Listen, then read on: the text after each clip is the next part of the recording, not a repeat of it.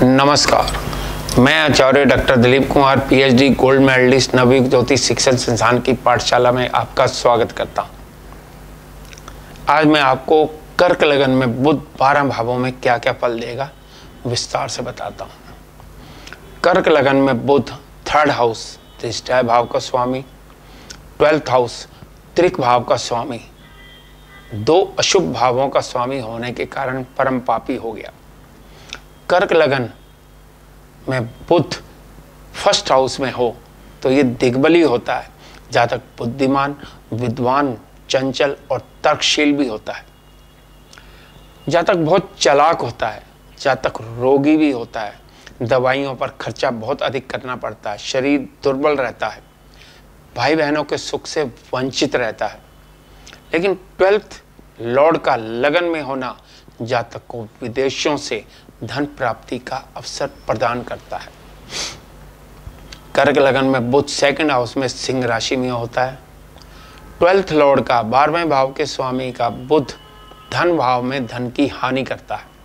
कुटुंब के परिवार के सदस्यों से संबंधों में कमी करता है।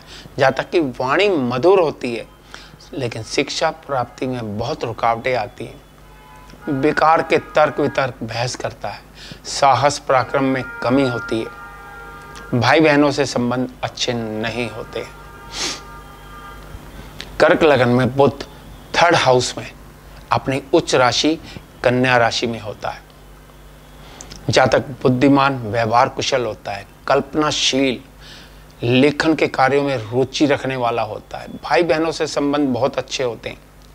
जातक को ज्योतिष, धार्मिक कार्य कर्म कांड में रुचि होती है। स्पोर्ट्स में भी बहुत रुचि रखता है अच्छा खिलाड़ी बन सकता है। साहस, पराक्रम अधिक होता है, बुद्धिमान होता है, विद्वान होता है, शिक्षा अच्छी होती है, व्यापारी भी अच्छा होता है, मैथमेटिक्स कैलकुलेशन में एक्सपर्ट होता है। कर्क लगन में पुत्र फोर्थ हाउस में तुला राशि में होता है, जातक को माता का सुख कम प्राप्त होता है, माता का स्वास्थ्य भी खराब रहता है।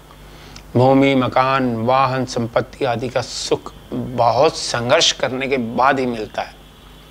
व्यवसाय में, नौकरी में अनेक परिवर्तनों के बाद सफलता प्राप्त होती है।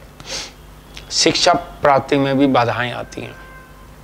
कर्क लगन में बुद्ध फिफ्थ हाउस में वृश्चिक राशि में होता है जातक चतुर बुद्धिमान होता है। लेकिन बहुत अड़चनों के बाद ही उच्च शिक्षा में सफलता प्राप्त करता है।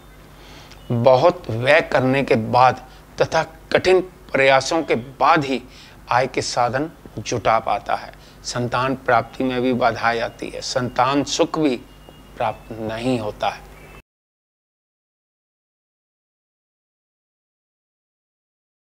कर्क लगन में बुध सिक्स हाउस में धनु राशि में होता है। यह विपरीत राजयोग है। जहाँ तक अपनी मेहनत से गुप्त युक्तियों द्वारा धन की प्राप्ति करता है। जहाँ तक गुणी होता है, अनेक कलाओं का जानकार होता है, परंतु लाभ उठा नहीं पाता है। जहाँ तक को देश विदेश की यात्राओं के अवसर प्राप्त होते हैं, जिससे वो धन लाभ कमाता है। भाई बहनों से संबंध अच्छे नहीं होते। कर्क लगन में सेवंथ हाउस में बुध मकर राशि में होता है। जातक सुंदर, बुद्धिमान, स्पष्ट वक्ता, चंचल और अस्थिर मन वाला होता है। जातक की पत्नी बुद्धिमान और अच्छे कुल की होती है। लेकिन ट्वेल्थ लॉर्ड का सेवंथ हाउस में बैठना वैवाहिक जीवन में परेशानी देता है। यदि किसी पाप ग्रह का प्रभाव हो तो तलाक की भी संभावना बढ़ जाती है। और यदि शनि का सेवंथ हाउस पर प्रभाव हो तो जातक इम्पोर्टेंट नपुंसक होता है, जिसके कारण वैवाहिक जीवन में बहुत परेशानी आती है। पार्टनरशिप में भी ज़्यादा सक्सेसफुल नहीं होता।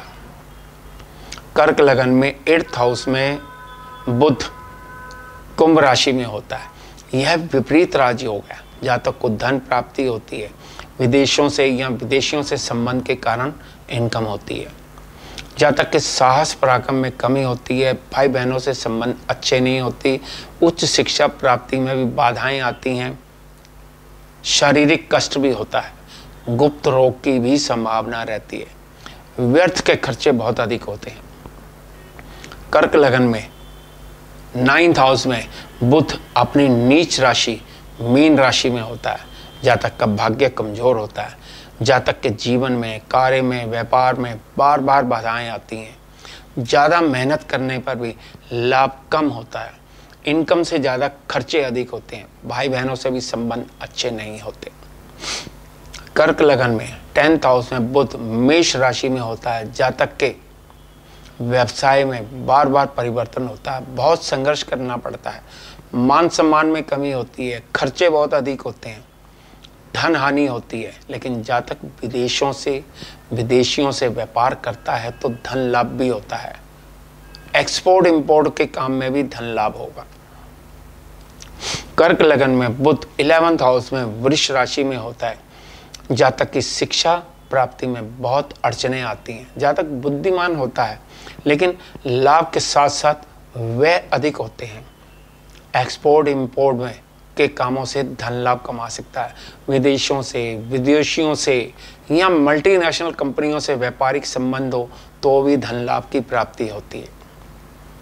कर्क लगन में बुध ट्वेल्थ हाउस में अपनी स्वराशि मिथुन राशि में होता है। यह विपरीत राज़ी हो गए व्यापार के लिए जातक बहुत यात्राएँ करता है। विदेशी यात्राएँ भी बहुत होती हैं। जातक बहुत संघर्ष करता है उसके बाद ही उसे कामयाबी प्राप्त होती है। जातक परोपकारी होता है, धार्मिक होता है, सोसाइटी में बहुत सेवा करता है। नमस्कार।